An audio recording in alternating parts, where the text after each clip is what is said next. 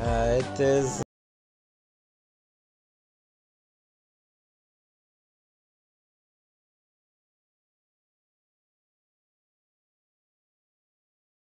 Yeah, there is also similar to it.